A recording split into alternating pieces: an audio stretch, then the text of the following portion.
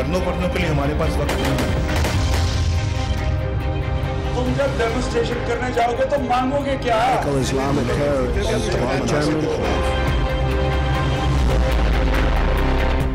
अदालत मुसलसल मौका दे रही है लेकिन शरीफ खानदान सबूत नहीं दे पा रहा। हुकूमत का दिफा कमज़ोर है। पनामा का मज़बूत केस नैब या फिर नाअहली की जानिब जा सकता है।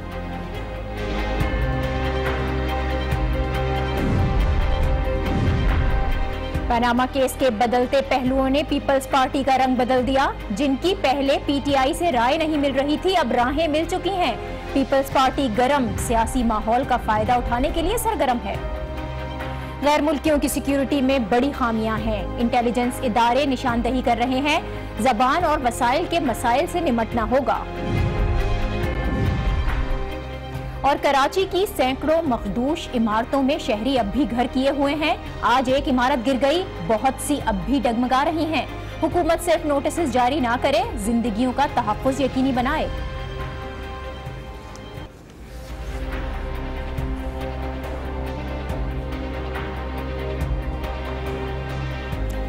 वालेकुम, आप देख रहे हैं न्यूज़ आर विद नाजिया और मैं हूँ नाजिया अशर। जीआईटी रिपोर्ट आने के बाद पनामा केस से मुतालिक जो भी पेश गोइयाँ की जा रही थी, वो दुरुस्त साबित होती दिखाई दे रही हैं। सुप्रीम कोर्ट ने आज वाजे किया है कि दो ऑप्शन हैं, या तो मामला एहतसाब अदालत की जानब जाएगा, या फिर वो खुद वज़ीर आज़म की नाअहली से मुतल फैसला करेगी। और ये फैसला जीआईटी रिपोर्ट के साथ जुड़े शवाहिद की रोशनी में किया जाएगा। यानी दोनों ही सूरतों में वजी को कार्रवाई का सामना करना पड़ सकता है। यही वो पेश गोई थी जो पिछले एक हफ़्ते से मुसलसल तमाम कानूनदान दे रहे थे और अब वही सब कुछ होता हुआ नज़र भी आ रहा है। इस सिलसिले की आज की कार्रवाई बहुत अहम है। आज की समात में जस्टिस एजाजुल एहसन के रिमार्क्स इंतहाई अहम सामने आए। उन्होंने कहा कि ये जो सारा केस है, इसका तफसीली जायचा उन्होंने पेश किया और ये बताया कि जेआईटी बनाने का मकसद वज़ीर आज़म और दीगर फरीकैन को सबूत पेश करने का मौका देना था। क्योंकि शरीफ खानदान ने खुद असासों की मलकियत तस्लीम की, दस्तावेजात होने का दावा किया गया और खुद शवाहिद का बोझ अपने सर ले लिया। उन्होंने वज़ीर आज़म की 16 मई की तकरीर का भी हवाला दिया, जिसमें तमाम जायदाद और आमदनी के दस्तावेजात होने का दावा किया गया। जस्टिस एजाजुल हसन ने सवाल उठाया कि क्या आप ये उम्मीद करते हैं कि वज़ीर आज़म पूरी कौम से खिताब में एक बात कहे और फिर उसके सबूत मौजूद ना हो? अगर स्पीकर को दस्तावेजात दी गई हैं तो फिर अदालत को या जीआईटी को क्यों नहीं दी गई? ये रिमार्क्स इसके बाद केस बहुत साफ़ है। अदालत अब भी लंदन फ्लैट्स की मलकियत के सबूत मांग रही है। और हुकूमत अब तक कोई भी सबूत देने में नाकाम है। ऐसे में बज़ाहिर हुकूमत इस केस में मुश्किल में फंसी दिखाई दे रही है, लेकिन फिर भी इस केस का हतमी फैसला भी आना बाकी है। अलबत्त अपोजिशन और हुकूमती लीडर्स अपने अपने फैसले पहले से सुना रहे हैं। आज भी अदालत के बाहर बड़े बड़े दावे किए गए। कौन क्या कह रहा था, पहले ये सुनिए।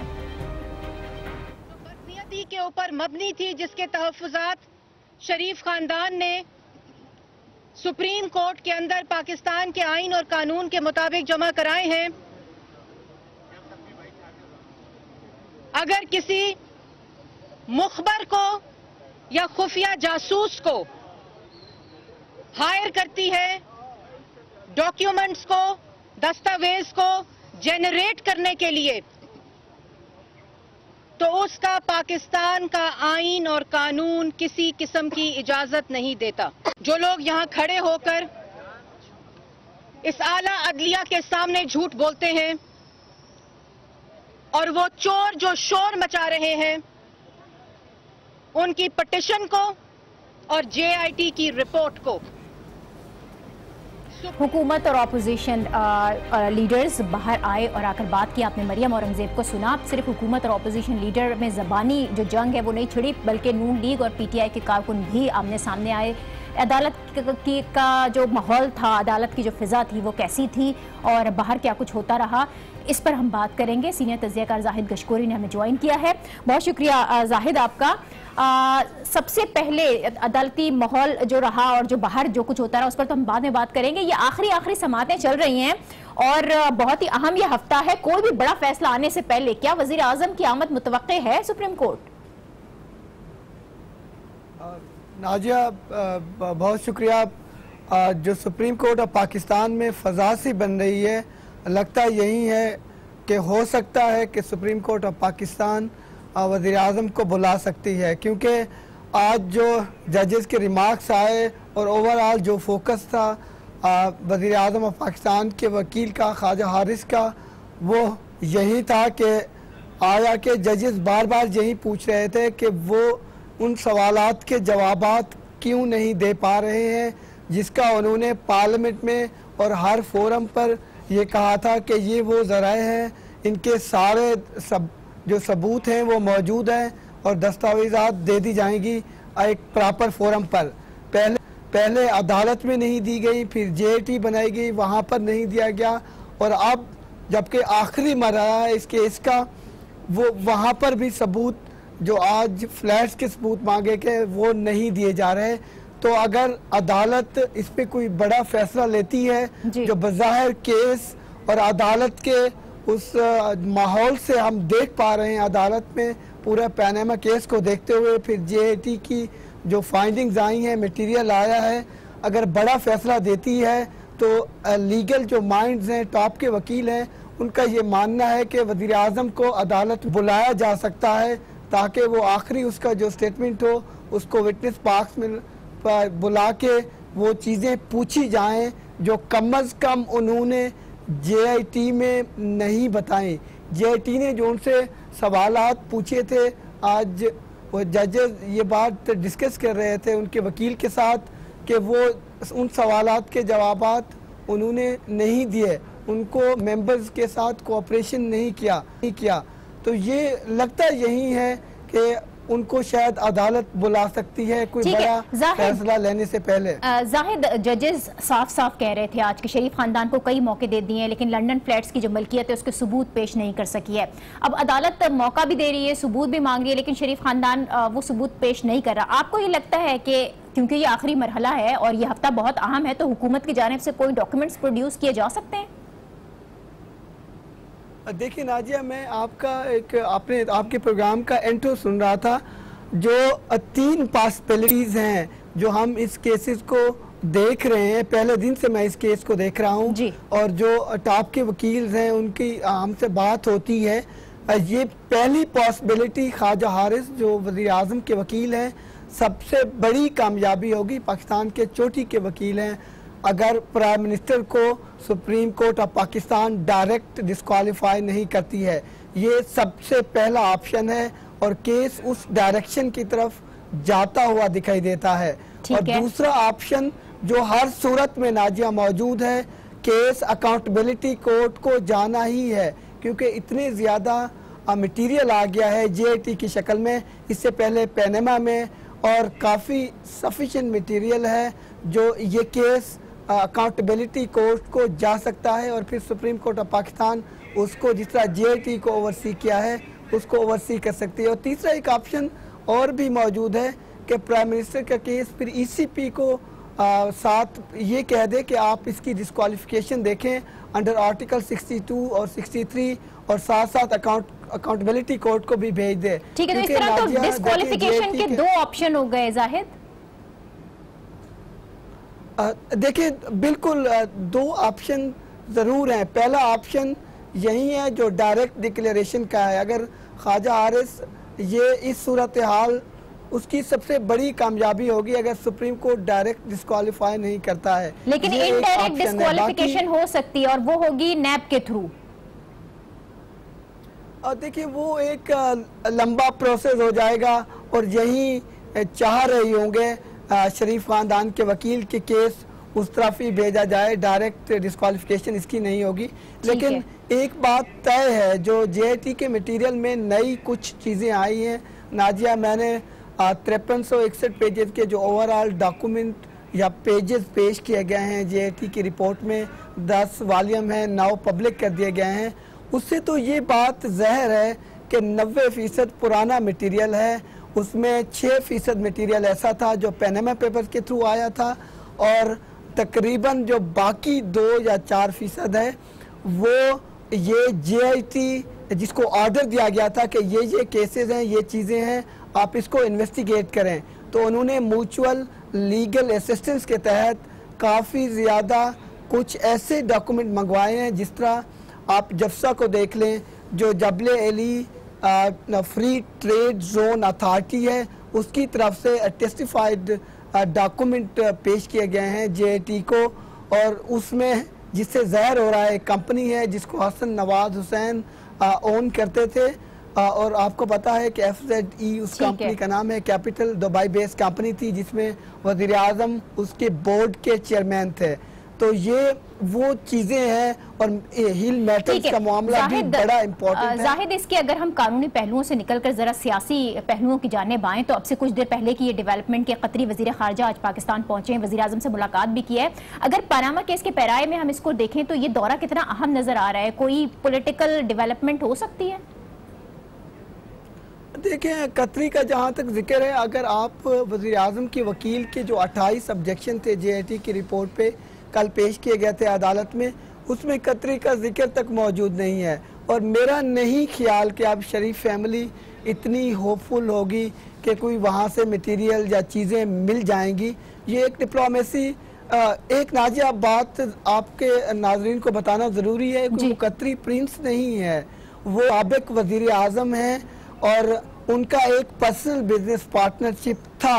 अगर वो साबित हो जाता है तो ये बहुत अहम होगा लेकिन अदालत के कमरे में या सुप्रीम कोर्ट में पाकिस्तान पाकिस्तान की सियासत का पहलू बहुत नुमाया था आज और कल अगर आप देखें आपको पीपीपी की टॉप लीडरशिप वहाँ नज़र आ रही है बिल्कुल, आज बिल्कुल, लीडर ऑफ़ अपोजिशन बिल्कुल। सैयद है, साहब है। मौजूद थे बहुत शुक्रिया। बहुत शुक्रिया जाहिद गशकोरी सीनियर तजियाकार हमारे हमरा थे और जिस तरह से जाहिद ने अपनी बात खत्म की है कि पीपल्स पार्टी का सामने आना एक अहम पहलू है पनामा केस के अंदर तो हम एक ब्रेक ले रहे हैं और इस ब्रेक के बाद पनामा केस में जो पीपल्स पार्टी सामने आई है इसी पर बात करेंगे। देखते रहिए news R with Nazia. Welcome back. एक तरफ़ पनामा केस का हंगामा है तो दूसरी तरफ़ ऑपोजिशन के बदलते रंग। पीपल्स पार्टी अचानक इस केस में बड़ी मुतहरिक हुई है। कल लतीफ खोसा की सरबराही में पीपल्स पार्टी का वक्त समात में शिरकत के लिए सुप्रीम कोर्ट आया था और आज खुर्शीद शाह और कमर जमान कायरा पहुँचे हैं। दोनों ही बड़े सीनियर लीडर्स हैं और समात के बाद दोनों ने मीडिया से गुफ्तु भी की। वज़ीर आज़म से एक बार फिर इस्तीफा मांगा है, लेकिन यहाँ दिलचस्प बात यह है कि दोनों ही लीडर्स माजी में पनामा के मामले को सुप्रीम कोर्ट ले जाने के मुखालिफ थे। इसे इमरान खान की बड़ी गलती करार दे रहे थे। कमर जमान कायरा माजी में पनामा केस से मुतालिक क्या कहते रहे और आज उन्होंने क्या कहा? जरा सुनिए।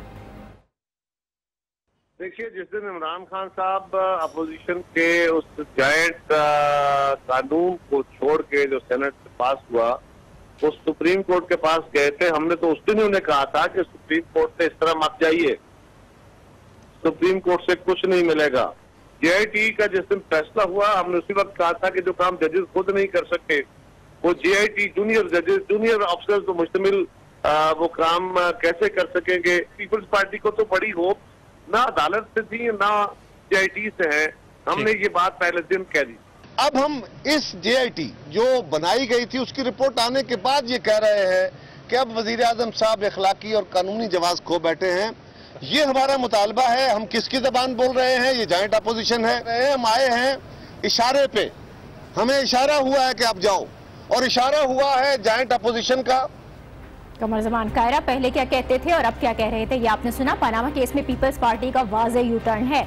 इस केस की पूरी कार्रवाई के दौरान पीपल्स पार्टी की लीडरशिप इस केस की मुखालफत करती रही और आज जब सारी कहानी हुकूमत के खिलाफ जाती दिखाई दे रही है, लग रहा है कि इस मामले में हुकूमत मुश्किल में है तो पीपल्स पार्टी गिरती हुई दीवार को धक्का देने आ गई है। इसीलिए हुकूमती लीडर्स मुसलसल पीपल्स पार्टी के इस यू टर्न पर एतराज़ उठा रहे हैं। कल भी दानियाल अज़ीज़ ने इस चीज़ को पॉइंट आउट किया था और आज फिर से वो वही बोले हैं। ये जो पार्लियामेंट से इस्तीफे देने वाली बात बिलावल भुट्टो ने की है, ये तो पीटीआई की ज़ुबान है। ये तो वो ज़ुबान है जो हमने देखी कि जिसने पाकिस्तान की पार्लियामेंट को कहा इसको घराओ जलाओ, कब्रें खोदी गई, कफन बांधे गए। पार्लियामेंट के ऊपर हमला किया गया। तो बिलावल साहब कैसे मजबूर हो गए वो ज़ुबान बोलने पे? दानियाल अज़ीज़ का ये एतराज़ आपने सुना लेकिन क्या वाकई पीपल्स पार्टी को कोई इशारा मिला है या वो इस मामले में अपना हिस्सा डालकर सियासी फ़ायदा उठाना चाहती है? क्योंकि पीपल्स पार्टी खामोशी से सियासी मैदान में अचानक एक्टिव हुई है। हाल ही में कराची में बड़ी इंतखाबी मुहिम चलाई एम क्यू एम पाकिस्तान को पी एस एक सौ चौदह पर शिकस्त दी। फिर पिछले ही हफ़्ते पीटीआई की अहम रहनुमा नाज बलोच को तोड़ा है। नाज बलोच पीटीआई छोड़कर पीपल्स पार्टी में गई हैं और अब आ, आ, पानामा केस और इसके तमाम तर शोर शराबे का फ़ायदा उठाते हुए सिंध पुलिस में चुपचाप बड़े पैमाने पर तबादले भी किए गए। एआईजी अब्दुल कादिर थीबो को कराची पुलिस चीफ लगाया गया। इस तमाम तर सियासी शोर शराबे में पीपल्स पार्टी मामला पर अपनी गिरफ्त मज़बूत करने की कोशिश कर रही है और जो तब्दीलियाँ आ रही हैं वो क्यों आ रही हैं इस पर हम बात करेंगे। हमें सीनियर तजियाकार लियाकत शहवानी ने ज्वाइन किया है। बहुत शुक्रिया लियाकत साहब आपका। पीपल्स पार्टी आगाज़ में तो पनामा केस को सुप्रीम कोर्ट में ले जाना ही नहीं चाहती थी बड़ी मुखालिफ थी। आ, वक्त का जिया कहा गया कुछ हासिल नहीं होगा ये भी कहा गया। अब अचानक जेआईटी रिपोर्ट के बाद पीपल्स पार्टी की स्ट्रैटेजी तब्दील कैसे हुई ये बदलाव आया क्यों है? शुक्रिया नाजिया। 20 अप्रैल को जब सुप्रीम कोर्ट के इसी बेंच का फैसला आया तो नून और पीटीआई वालों ने पेट भर के मिठाइयाँ खाए थे। उसमें पीपल्स पार्टी वाले महरूम रह गए थे। अब के बार इन्हें खैरात का जो देग है देग है, वो चढ़, चढ़ता हुआ उनको दिखाई दे रहा है और वो अपने पलेटे लेकर हाजिर हो गए हैं कि अब के बार खैरात के पुलाव से वो महरूम ना हो जाएँ। बुनियादी तौर पे नाजिया, हम जानते हैं कि पीपल्स पार्टी ये वो पीपल्स पार्टी नहीं रही जो बेनज़ीर भुट्टो शहीद के ज़माने में हुआ करती थी खसूस गुज्त हुकूमत पीपल्स पार्टी के जिसमें जयाले और कारकुनान पीपल्स पार्टी के काफ़ी ना, नाराज़ हो गए थे तो पीपल्स पार्टी इस पोजीशन में थी ही नहीं कि आवाम को सड़कों पे ला सकती। 126 दिन जिस तरह पीटीआई ने धरना में अपने कारकुनान के माइट को चेक किया और जिस हौसले और अज़म के साथ उनके कारकुनान मैदान में रहे ये बुनियादी तौर पर स्प्रिट जालों का हुआ करता था जो आज टूटा हुआ नज़र आता है। तो इस तमाम हालात को देखते हुए पीपल्स पार्टी ने मैदानों की गलियों की सियासत को यक तरफ़ रख के पहले तो धरना के दौरान वो नवाज़ शरीफ साहब के साथ रहे। पार्लियामेंट को उन्होंने कहा कि हम सपोर्ट करते रहे और यकीनन जमहूरत को बचाने के लिए उस मरहले पे उन्होंने अपना किरदार अदा किया। दूसरी बात यह कि पीपल्स पार्टी अपने आप को और अदलिया की तारीख को सामने रखकर उनका एक अंदेशा है कि अदलिया कभी जैसे पीपल्स पार्टी के साथ इंसाफ नहीं हुआ इस दफ़ा भी शायद ऐसा ही हो और नून नून लीग को, नवाज़ शरीफ को हमेशा एक परसेप्शन रही है कि अदलिया उनके साथ हमदर्दाना रवैया रखती है। लिहाजा उस रवैये की बुनियाद पे ये मुमकिन है कि नवाज़ शरीफ को इसमें क्लीन क्लीन चिट मिल जाए और इसके बेनिफिशरी इमरान खान बन जाए और इमरान खान एक बड़े लीडर के तौर पे इमर्ज हो जिसको पीपल्स पार्टी गवारा और बर्दाश्त करने को तैयार नहीं था। तो ये ये ये यू टर्न ये यू टर्न पीटीआई को नीचा दिखाने के लिए हो सकता है आप ये कह रहे हैं। बहरहाल ऑपोजिशन लीडर आज खुर्शीद शाह पहली बार अदालत आए थे और लीगी रहनुमा दानियाल अज़ीज़ को भी आपने अभी सुना कि उन्होंने इल्ज़ाम लगाया कि पीपल्स पार्टी और दीगर जमातों को इशारे मिले हैं। किसी के कहने पर ये जमातें ये लीडर्स अदालतों के चक्कर लगा रहे हैं। तो दानियाल अज़ीज़ का इशारा किस तरफ़ आपको लगता है? देखिए, दानियाल अज़ीज़ और उनकी जमात फिल वक्त इशारों की जबान में बात कर रहे हैं। कभी वो साजिश की बात करते हैं, कभी कठपुतलियों की बात करते हैं, लेकिन कठपुतली कौन हिला रहे हैं साजिश कौन कर रहा है? इसका अभी तक उन्होंने न जवाब दिया, एक एक घंटे का प्रेस कॉन्फ्रेंस करते हैं, लेकिन एक वेग, एक इबहम वो फैलाने की कोशिश कर रहे हैं। और इसी तरह उसी बहाम के तहत वो अब जो अपोजिशन की जमातें करीब होने लगे हैं, इसमें कल चौधरी शुजात भी आए थे, फारूक सतार भी आए थे तो एक ग्रैंड अलायंस बनने के लिए एक माहौल तो बनने जा रहा है। तो उसको देखते हुए उनको एक खौफ है कि मियाँ साहब चूँकि जाते हुए दिखाई दे रहे हैं, जो सूरत हाल है, उसमें वो हफ़्ता दस दिन या पंद्रह दिन के मेहमान नज़र आते हैं, शायद डिस्कालीफाई हो, और फर्दर ट्रायल कोर्ट या नैब के हवाले किया जाए इस रेफरेंस को फर्दर ट्रायल के लिए। तो अगर नवाज़ शरीफ साहब चले जाते हैं तो मुस्लिम लीग नून के अंदर आवाज़ें उठना अब शुरू हो, हो चुकी हैं। वहाँ पर भी स्प्लिट के खदशात हैं नाराज़गियाँ हैं। और दानियाल अज़ीज़ साहब चूँकि उनको मिनिस्ट्री भी नहीं मिली एक साल से वो तकरीरें कर रहे हैं। आ, इसी बुनियाद पे वो अपोजिशन को ज़ाहिर है वो गवर्नमेंट में अपोजिशन पे तनकीद करना गवर्नमेंट का काम और अपोजिशन गवर्नमेंट पे तनकीद करती रहती है। लेकिन पीपल्स पार्टी का मैं आपको बताता चलूँ नाजिया कि पीपल्स पार्टी ज़ाहिर है इलेक्शन का साल भी है और देख भी तैयार हो चुकी है और उन सबको नज़र आना शुरू हो गया कि प्राइम मिनिस्टर जाने लगे। हैं इसके पीछे लियाकत साहब। जब हम पीपल्स पार्टी के ये बदलते हुए रवैयों की बात करती हूँ तो मैं एक जरदारी साहब ने टीवी इंटरव्यू भी दिया था जिसमें वो कह रहे थे कि वजी नवाज़ शरीफ को अदालत के ज़रिए हटाने के हक में नहीं है। वो ये भी पेशगोई कर चुके हैं कि पनामा केस का फैसला नवाज़ शरीफ के खिलाफ नहीं आएगा लेकिन बिलावल भुट्टो अदालती कार्रवाई को मद्देनजर रखकर ही वज़ीर आज़म से अब इस्तीफे का मुतालबा कर रहे हैं। एक ही पार्टी है लेकिन अलग अलग मौकफ है। ऐसा क्यों है एक पेज पर नहीं है ये इस मामले पर? वो इसलिए नहीं है कि पीपल्स पार्टी का अपना तजर्बा रहा है। जुल्फकार अली भुट्टो के केस में कोर्ट से उनको उस वक्त इंसाफ नहीं मिला। यूसुफ रजा गेलानी के केस को मद्देनजर रखते हुए इसी बुनियाद पे अपने तजर्बे की बुनियाद पे वो ये समझ रहे हैं कि शायद नवाज़ शरीफ साहब भी आ, उसके खिलाफ फैसला ना है फैसला हमेशा जो है ना कोर्टों के ज़रिए पीपल्स पार्टी के खिलाफ आती रही है। तो उस तजर्बे की बुनियाद पर उस परसेप्शन की बुनियाद पर कि नवाज़ शरीफ साहब के साथ कोर्ट्स जो है ना उनका रवैया हमदर्दाना रहा है। लिहाजा इसी खौफ की बुनियाद पर वो ऐसी बातें करते रहे और इस केस में फरीक भी नहीं बने। आ, और दूसरी जो आपने बात किया कि दो राय चल रहे हैं। हाँ, बुनियादी तौर पर यकीन पीपल्स पार्टी एक पेज पे नज़र नहीं आ रही। को चेयरमैन हैं एक ही पार्टी के बाप बेटे के दरमियान में सोच का भी फ़र्क है एज का भी गैप है स्ट्रेटजी का भी फ़र्क है बाप कुछ चाहता है बेटा कुछ चाहता है। और जरदारी साहब, पहले उन्होंने बिलावल भुट्टो को पंजाब में लॉन्च किया। बहुत जल्दी उन्हें यह महसूस हुआ कि बिलावल साहब जो है ना, उनका कार्ड फिल नहीं चल रहा, वो ज़ाया हो जाएँगे। तो उनको पीछे करके वो खुद आगे आए, फिर खुद नहीं चल सके। अब पाकिस्तान से बाहर जाकर बैठ गए। अब हालात को देखते हुए उन्होंने खुर्शीद शाह साहब को आगे कर दिया खुर्शीद शाह साहब ने पिछले एक डेढ़ महीने से पहले ही नवाज़ शरीफ साहब के रेजिग्नेशन का मुतालबा भी शुरू कर दिया है और बैती गंगा में हाथ धोने के लिए इसके अलावा भी साहब इसके अलावा भी कुछ अहम पहलू हैं दीगर जमातों की सारी तवज्जो जिस वक्त पनामा केस पर लगी हुई है पीपल्स पार्टी पनामा के साथ जो दीगर मामला हैं उस, उसको लेकर सियासी गिरफ्त को मज़बूत कर रही है। कराची का जिमनी इंतबाब आप देख लें उसके बाद पीटीआई की रहनुमा नाज बलोच की पीपल्स पार्टी में शमूलियत है। तो इस तरह की जो तब्दीलियाँ आ रही हैं आपको लगता है कि इलेक्शन की तैयारियाँ भी साथ साथ कर रही है पीपल्स पार्टी? यकीनन, नाजिया, यकीनन पैनामा केस ना भी होता नवाज़ शरीफ साहब का ये केस अगर कोर्ट में ना भी होता तब भी आखिरी बजट आ चुका है।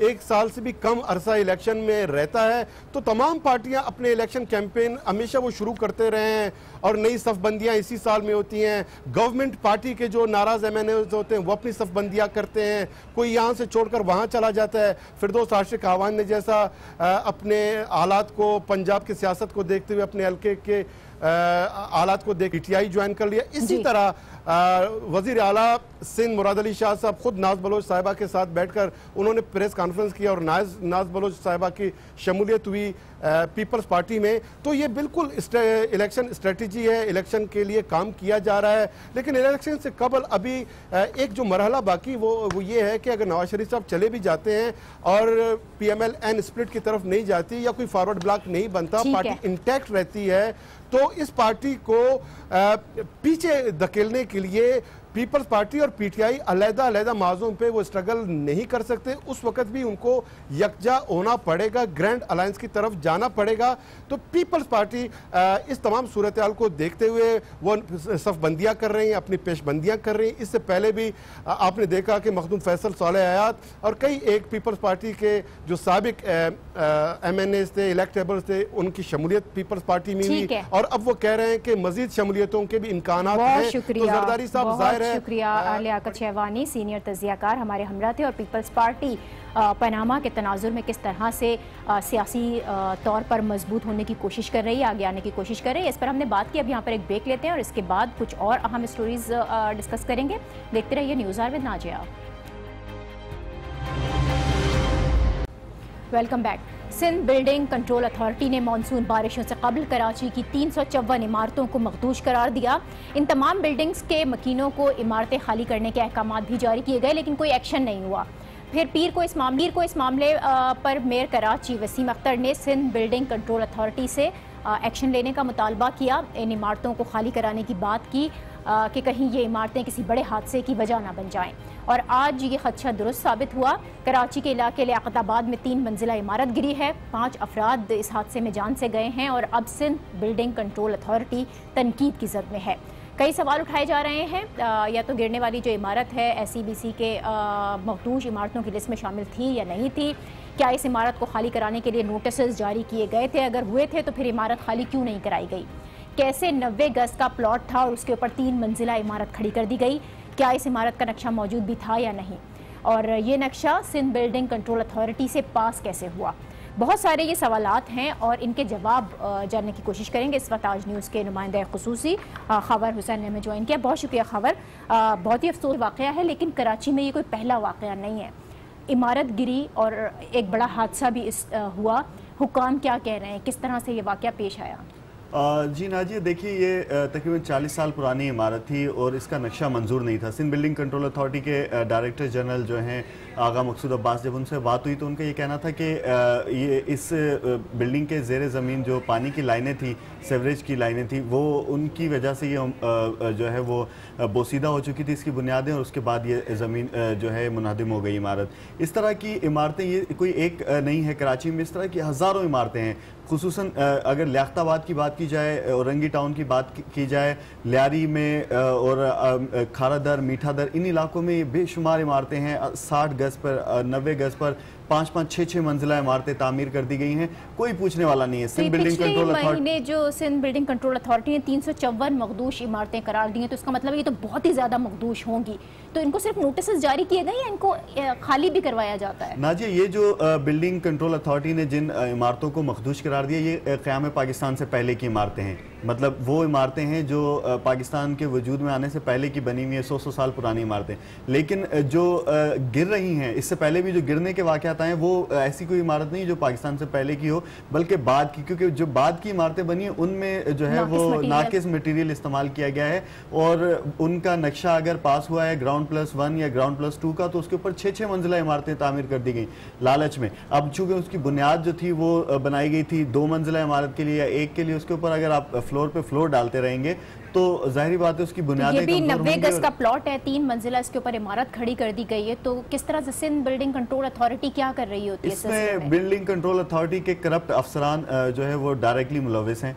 इन्होंने अपने एजेंट्स रखे हुए हैं जो अपने इलाकों से बीट जो है वो रिकवर करते हैं, भत्ता इकट्ठा करते हैं और फिर इन अफसरान को पहुंचाते हैं। और ये जो है वो ऊपर लेवल तक जो है वो ये माहाना की बुनियाद पे जो है वो पैसा जाता है। इससे पहले भी कई दफ़ा हम इस चीज़ को नोटिफाई कर चुके हैं, इसको एक्सपोज कर चुके हैं कि किस तरह से बिल्डिंग कंट्रोल अथॉरिटी के जो अफसरान हैं वो किस तरह से गैर कानूनी तमीरत में मुलविस हैं।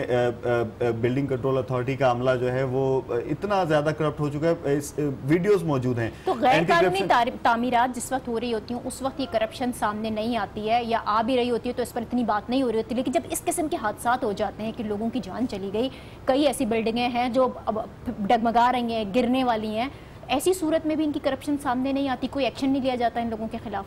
चूँकि मिला मिली भगत है पूरा का पूरा सिस्टम है और आपस में जो है ये जुड़े हुए हैं ना तो कोई अ, मतलब जब तोड़ने वाले ही अ, मिलकर खुद बनवा रहे होंगे तो कौन एक्शन लेगा और कौन उसको रोकेगा? इस वक्त अ, सबसे ज़्यादा जो बुरी हालत है वो इन आबादियों में है जहाँ खसूस कच्ची आबादियाँ जो हैं उनमें जो है ज़्यादा बुरी हालत है। वहाँ पर तेज़ी से ये जो है वो मकाना तामीर हो रहे हैं। फिर चाइना कटिंग के ऊपर जो घर बनते हैं वो सिंध बिल्डिंग कंट्रोल अथॉरिटी के अंडर में नहीं आते। वो उनके उनके लिए ना वो नक्शा बनाती है ना ही उनके खिलाफ कोई कार्रवाई करती है। तो चाइना कटिंग के ऊपर जितने भी इस तरह की इमारतें हैं वो तामीर हुई हुई हैं। छः छः मंजिला जो है साठ गज पे और 180 गज 120 गज के ऊपर जो है वो बनाई गई हैं।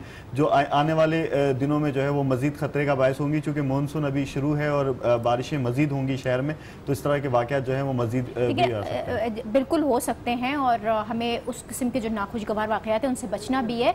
लियाकताबाद में इमारत गिरने का ये पहला वाक़ नहीं पिछले महीने ही इस तरह का एक और वाक़ भी पेश आया था। उस वक्त सिंध बिल्डिंग कंट्रोल अथॉरिटी ये कह रही थी कि जो तामीरात से मुतल कवानीन हैं, उनको सख्त करने की ज़रूरत है।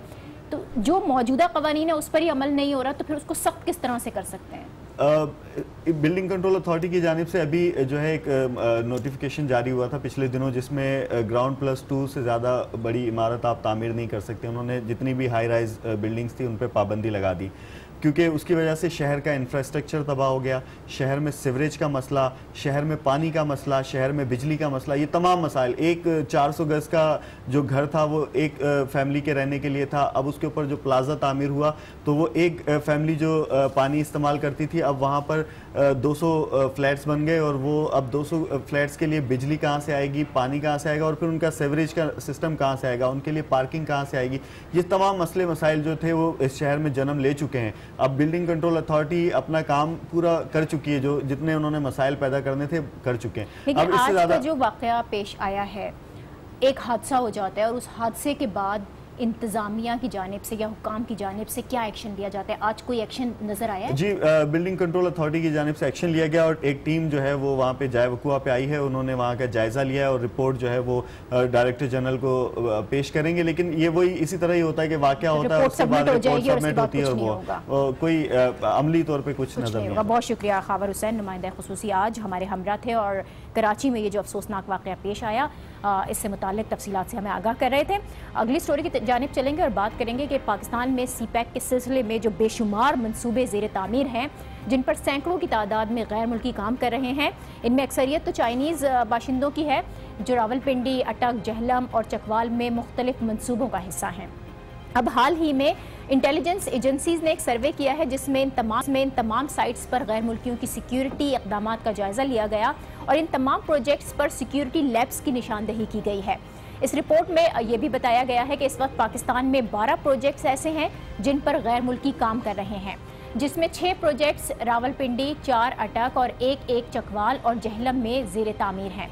इन तमाम प्रोजेक्ट्स में गैर मुल्कियों के लिए सिक्योरिटी प्रोटोकॉल्स पर अमल दरामद में सबसे बड़ा मसला जबान का है। चाइनीज़ से कम्युनिकेशन में लैंग्वेज बैरियर एक अहम मसले के तौर पर सामने आया है, क्योंकि सिर्फ़ कहोटा के हाइड्रो पावर प्रोजेक्ट पर 600 से जायद चाइनीज़ काम कर रहे हैं। इसीलिए वहाँ पर चाइनीज़ वर्कर्स की सिक्योरिटी से मुतक एस का पाबंद बनाने के लिए ट्रांसलेटर का होना लाजमी करार पाया है। इसी तरह और भी कई प्रोजेक्ट्स हैं, जिनका ज़िक्र इस रिपोर्ट में किया गया है। मिसाल के तौर पर रेनाल कोहाला का पावर प्रोजेक्ट इसका रिपोर्ट में ज़िक्र यह है कि जहाँ 22 चीनी इंजीनियर्स काम कर रहे हैं, वहाँ भी सिक्योरिटी इंतज़ाम को गैर इतमान बख्श करार दिया गया है। इसी तरह से heavy industries Taxila new Islamabad airport समेत बहुत से प्रोजेक्ट्स की निशानदेही की गई है और वहाँ पर सिक्योरिटी को बेहतर बनाने की ज़रूरत है। इन तमाम साइट्स के लिए translator local workers city clearance और गैर मुल्कियों को साइट से रिहाइश तक पुलिस गार्ड्स देने की सिफारिश की गई है। इसके अलावा कई मकाम पर वॉक थ्रू गेट्स और नाइट विजन सीसीटीवी कैमराज लगाने पर भी ज़ोर दिया गया है। ये तमाम ही सिफारिशात बहुत अहम हैं। इन पर अमल कहाँ तक पहुँचा है? इस पर हम बात करेंगे। हमें सीनियर सहाफ़ी मोहम्मद असगर साहब ज्वाइन कर रहे हैं। बहुत शुक्रिया असगर साहब आपका। अ, पाकिस्तान में 12 ऐसी जगहें हैं जहाँ पर गैर मुल्कियों की सिक्योरिटी ख़तरे में है। सिक्योरिटी लैब्स की यहाँ पर निशानदेही की गई है। बहुत ही मुफसर ये रिपोर्ट है जिसमें तजावीज़ भी दी गई हैं लेकिन इन तजावीज़ पर अमल किया गया है अब तक? जी इस हवाले से आज से तकरीबन आठ माह कबल एक इसी तरह की रिपोर्ट शायद थी जिनमें जो रेलवे ट्रैक की अपग्रेडेशन रावलपिंडी और जेहलम जेहलम और गुजर खान के दरमियान हो रही है वहाँ पे निशानदेही की गई थी कि वहाँ के वहाँ जो चाइनीज़ रहाइश पजीर है उनकी रहाइश जो है वो वेरी वेरी इनसिक्योर तो उस पर फौरी तौर पर आर पी ओ साहब रावलपिंडी गए फ़खर फ़खर इमाम साहब उन्होंने जाके वहाँ पे अ, उसका मुआयना किया और ये ऑफिसर लोग जाते हैं डायरेक्शन देते हैं लेकिन उस पर अमल दरामद जो है वो हंड्रेड परसेंट हो नहीं पाता है। ये एक रूटीन की प्रैक्टिस है इसमें हंड्रेड परसेंट तो नहीं हो सकता असगर साहब लेकिन इस रिपोर्ट के बाद कोई एक्शन होगा या कुछ नहीं होगा इस बार भी? जो पहले रवायत रही है, उनकी मुझे तो मेरा तो ख्याल है कि उसी पे चलते रहेंगे, चूँकि इनकी तरफ़ से किसी चीज़ को जो मैंने ऑब्ज़र्व किया है, या ऐसी रिपोर्टें नज़र से गुजरी हैं, कोई सीरियसली नहीं लिया जाता। हती कि आपको होम डिपार्टमेंट या इंटेलिजेंस एजेंसीज़ की तरफ़ से इनको थ्रेट अलर्ट भी जब जारी किए जाते हैं तो उस पर भी ये उसे संजीदगी से नहीं लेते। वो कहते हैं ये रूटीन में उन एजेंसीज़ की बस अपनी खाना पूरी है जो कि वो करके भेज देते हैं। और हम हमारी तरफ़ से ये हो जाता है कि जी हमने सिक्योरिटी टाइट कर दिया लेकिन तो ये तो बड़ा सीरियस इशू है अगर गैर मुल्की महफूज नहीं है हमारे यहाँ आला हुकाम को इल्म है इस हवाले से तजावीज़ दी गई उस पर अमल नहीं हो रहा तो फिर इसका जिम्मेदार कौन होगा? कौन ये सारे काम सर अंजाम देगा?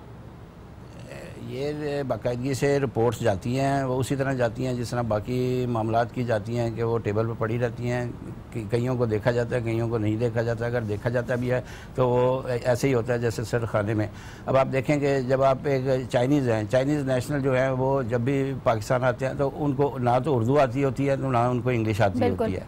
और बदकिस्मती से हमारे जो सिक्योरिटी के एहलकार हैं इवन इंस्पेक्टर लेवल के लोग भी जो हैं उनको इंग्लिश लैंग्वेज पे कोई भी ग्रिप नहीं है ना ही वो मतलब देखो ये जो लैंग्वेज की आप बात कर रहे हैं ना इस रिपोर्ट में दूसरी अहम बात लैंग्वेज बैरियर ही है। चाइनीज़ ज़बान वर्कर्स को सिक्योरिटी प्रोटोकॉल्स का पाबंद करने में बड़ी रुकावट है क्योंकि उनको जब, कोई और ज़बान तो आती नहीं है। सिक्योरिटी एहलकार उनसे ठीक तरीके से कम्युनिकेट भी नहीं कर पा रहे हैं। इसलिए ट्रांसलेटर्स की जो सिफारिश की गई है क्या ट्रांसलेटर देने से ये मामला हल हो जाएगा आप समझते हैं? जी नेवर बिल्कुल मैं यकीन से कह सकता हूँ कि अभी तक जितने भी सिक्योरिटी एहलकार हैं जिनमें के special protection unit Punjab government की तरफ़ से एक पंजाब पुलिस का एक विंग बनाया गया था जो specialize for security of foreigners तो उनमें से भी मैं यकीन से कहता हूँ कि किसी एक बंदे को भी चाइनीज़ लैंग्वेज नहीं आती होगी। अब आप अंदाज़ा आप अंदाज़ा कर लें कि जब उनको इंग्लिश नहीं आती है हमें चाइनीज़ नहीं आती है और ना ही इंग्लिश आती है तो एक दूसरे को हम अपने कंसर्न कैसे बताएँगे? इशारों से बात करेंगे, जैसे कि स्पेशल लोग करते हैं। As compare to police police इतना बड़ा महकमा है, लेकिन आप देखेंगे जब आर्मी के लोग डेपुटेशन पे जाते हैं, बाहर के मुल्कों में जिस मुल्क में भी जाते हैं तो उनको लैंग्वेज कोर्सेज कराए जाते हैं, ताकि वो लैंग्वेज बैरियर उनके दरमियान ना आए वहाँ के लोगों के साथ काम करते हुए। जबकि हमारी पुलिस अगर अगर लैंग्वेज बैरियर इतना ही बड़ा मसला है तो असगर साहब बता सकते होंगे लेकिन वो भी परमानेंट नहीं होते हैं यहाँ पे। कभी वो लोग छुट्टी पे चले जाएँ तो इनको पीछे से मुसीबत पड़ जाती है कि वो बंदा ट्रांसलेटर नहीं है तो बताएँ किधर से आए। हमारे कुछ नौजवान ऐसे हैं जो कि चाइना से इंजीनियरिंग करके आते हैं और उन्होंने पावर कंपनीज़ ज्वाइन की हैं। तो वो बतौर उनको फौरी तौर पर रिक्रूट कर लेते हैं चाइनीज़ ताकि उन्हें ये लैंग्वेज बैरियर ना हो। अब आप देखें security is very very serious issue in the light of all serious threats from terrorist groups तो उसके बावजूद ये इस चीज़ को नहीं ले रहे। हती कि पुलिस के तीन लोग भी लगा दिए जाए ना लैंग्वेज कोर्स के लिए तीन तीन माह के लिए। तो मेरा ख्याल है कि तीन प्रोजेक्ट के ऊपर तीन ट्रांसलेटर इनको प्रोवाइड हो, हो सकते हैं। लेकिन उसको भी ये लोग कभी कंसिडर नहीं कर रहे हैं अच्छा तो गैर मुल्कियों को ये जो साइट से रिहाइश तक पुलिस गार्ड्स देने की सिफारिश की गई है आप समझते हैं ऐसा मुमकिन हो सकता है साइट से रिहाइश तक तमाम अफराद को सिक्योरिटी देना आसान काम होगा?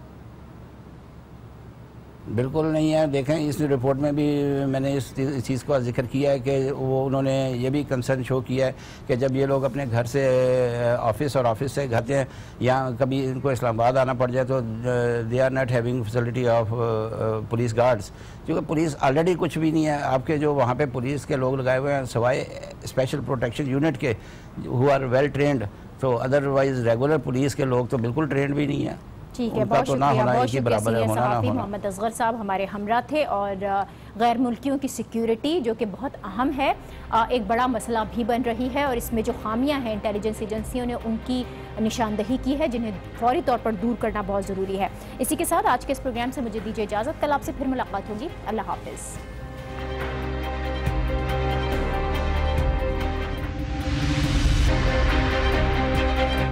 के लिए हमारे पास वक्त नहीं है। तुम जब डेमोस्ट्रेशन करने जाओगे तो मांगोगे क्या?